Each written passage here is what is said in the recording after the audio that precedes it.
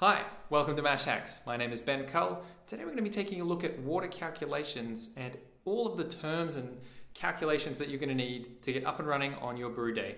Now it doesn't matter if it's all grain or brew in a bag, these calculations are going to be applicable to everyone and they're easy enough that you can do them in your head as well. But a bit of a warning to my American friends, they're a little bit harder in Imperial. Let's go check it out.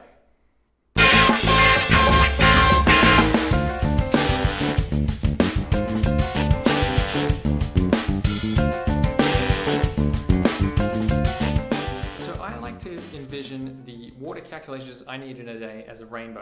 And in fact, depending on my video editing skills, we'll have one pushed right over there. Now, essentially, you have uh, different calculations you need to make along the rainbow. Now, I like to start at the back because that's where we start with our first term, the batch size. It's essentially the amount of beer you end up with in your bottles or kegs. Now, this beer comes out of your fermenter. If you had 20 litres of beer in your fermenter and you only got 18 litres of beer out of the fermenter, that leaves you with 2 litres of trub loss. That, that trub loss or fermenter loss uh, is just dead space in your fermenter, or it might be absorbed liquid into hops, or it, uh, it could be anything. It could be if you use a spigot on your fermenter, it's just everything below the valve. If you use a siphon, it's just as far down as you want to go without sucking up any of the yeast. So now that we have our batch size and trub loss, we move on to the post-boil uh, volume. Now this post-boil volume is the amount of liquid left in the kettle at the end of the boil. Now this also takes into account kettle loss and or dead space in your kettle because if you had, uh, and in, in our example, we put 20 litres of liquid into the fermenter, but let's say we had 21 or 22 litres in the end of our boil, at the end of our boil in our kettle that would mean that we had one to two litres of kettle loss because we didn't have a dip tube or we didn't want to tilt the kettle or it's just whatever we left behind. So now we have our batch size, our trub loss, we have a post-boil volume uh, minus any kettle loss or dead zones in that. Um, the one after, or rather back up the rainbow towards uh, the top is the pre-boil volume. Now we calculate the pre-boil volume based on how much we boil off. This is also known as the evaporation rate because while you're boiling, the water evaporates. Now, this can actually vary quite wildly depending on your system. Um, in uh, Brisbane, I had up to 11 litres per hour um, from very vigorous boils on a really massive gas burner. Whereas the gas burner I'm using in Belgium here, I only lose 3 litres per hour. So really the only way to figure out your evaporation rate is to brew at least once.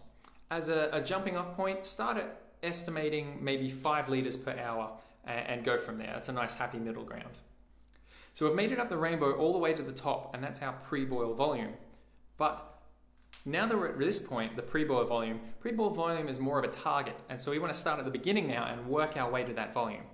So um, the next thing we need to think about is how much grain you have in your bill and how much strike water you're going to need. Now the amount of strike water you're going to need depends on how much grain you have in your grist. Now I'm going to use a basic example, an average example, uh, of 6 kilograms of grain for a 20 litre batch size. Now what I need to do is take that 6 kilograms of grain and just times it by 3 and that's the ideal home brewing mash thickness or rather the ratio of water to grain in your mash. For the Americans out there, it's 1.25 quarts per pound of grain.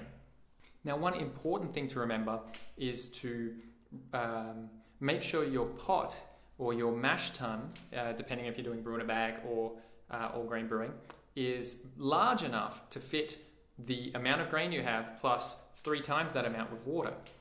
Uh, as an example, when I used to do 10 gallon batches, we couldn't quite fit enough in, and so if you can't fit all your grain and all your strike water in, you can always substitute some of your base grain for some dried malt extract of the pale variety. Uh, and that's just essentially using extract, really. It's just uh, a way to keep your um, alcohol percentage up whilst not sacrificing any of the specialty malts and flavors that are going to come through. Okay, so now that we have our strike volume, which is 18 litres, um, we want to get to our pre-boil volume. Now, what we do there is we go up the next rung of the rainbow and we say, okay, we started with 18 litres. We now need to minus absorption Now, again, this one's handy in the metric system because one kilogram of grain is going to absorb roughly one liter of water. Uh, for the Americans, one pint of water will be absorbed per pound of grain, I believe it is. You might have to double check that one. Um, again, it might not even out uh, quite between the two systems, but this is the easiest way to think about it. So we have our 18 litres and then we minus the absorption. So for us, uh, metric users, that's just minus the six kilograms or six litres of water. So that brings us back down to 12. And that means we can extract 12 litres of water from the uh, first runnings, from this first infusion. Um, and the difference between our pre-boil volume and our first runnings is what's called the sparge volume. Um, now you may have also heard of mashing out, uh, but I'm not going to cover that. Normally that's just when you raise the temperature and optionally you can use boiling water to raise the temperature, but uh, I'm not going to do that. I'm going to say skip mash out and just use that difference as sparge water. Now, sparging is also a topic for another day, but you can think of it as just rinsing the grain with fresh water and then adding that into your kettle along with your first runnings, which is the wort that you extracted from the grain at the beginning. Brew in a baggers, it's just what's left behind when you remove the bag, um, including any squeezing.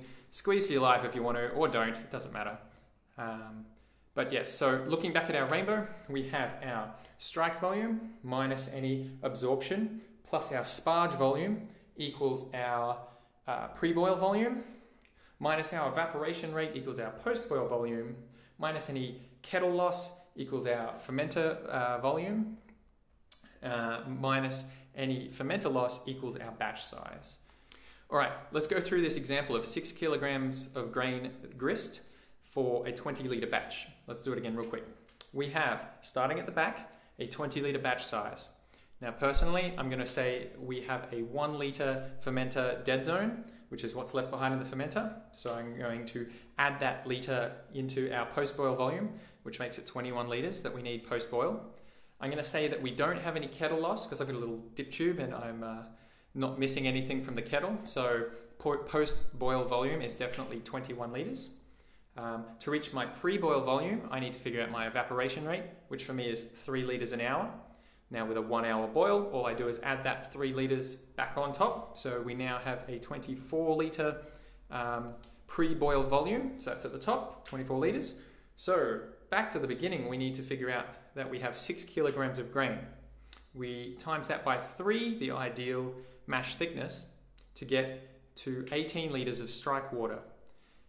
Um, we then minus the six kilograms or six liters of absorption water into the grain from our first runnings, which would leave us with 12 liters of first runnings.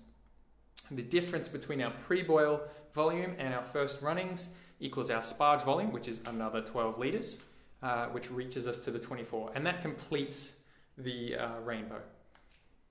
Now that's all for this quick rundown of water calculations and terminology. I'm going to get a bit more deeper into the uh, sparging process and the brew in a bag process in future videos, but I thought I'd like to cover this one first to make sure that you guys understand that yes, you can go and use BrewToad or Beersmith or anything like that to calculate your water, but you don't have to. You can also just do it in your head, and it's a good check to make sure that you know what you're doing, and if things go wrong, you can identify why, what volumes were reached and temperatures and all these sorts of things.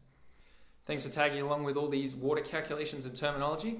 If you have any questions, feel free to leave them in the comment section below.